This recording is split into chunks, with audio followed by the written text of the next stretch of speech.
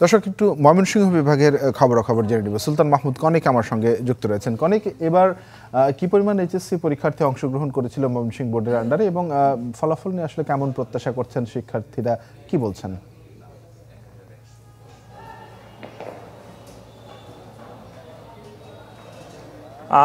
তানভীর, আজকে সকাল এগারোটার দিকে ঢাকায় আনুষ্ঠানিকভাবে ফলাফল হস্তান্তরের পরপরই ময়মনসিংহ শিক্ষা বোর্ডের যে ওয়েবসাইট আছে এবং কর্মকর্তারা আছেন, তাদের সাথে আমরা কথা বলেছি। তারা আমাদেরকে জানিয়েছেন যে সকাল সাড়ে এগারোটায় এই ফলাফলটি প্রকাশ করা হবে।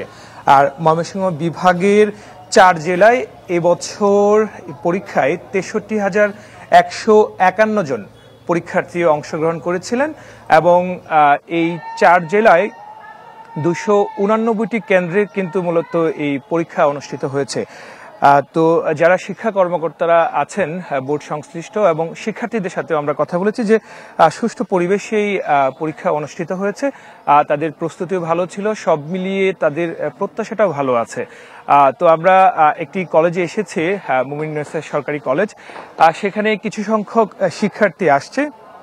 যদিও এখন অনলাইনে এস এম এস এর মাধ্যমে রেজাল্ট পাওয়া যায়, ফলে কিন্তু অনেক শিক্ষার্থী কিন্তু তারা তাদের প্রতিষ্ঠানে আসেন না তবু যারা আসেন অনেকে আসেন, একত্রে দল বেঁধে আসেন যাদের ফলাফল ভালো হয়ে থাকে সবার সাথে যোগাযোগ করে তাদের মতো করে তারা আসেন শিক্ষা প্রতিষ্ঠানের যে শিক্ষকরা আছেন তারা বলছেন তাদের প্রতিষ্ঠানের শিক্ষার্থীদেরকে নিয়ে যে ভালো একটি ফলাফলের প্রত্যাশা কিন্তু করছেন তো অপেক্ষায় আছেন সবাই যে যখন ফলাফলটা ঘোষণা করা হবে তার অপেক্ষায় কিন্তু আছেন।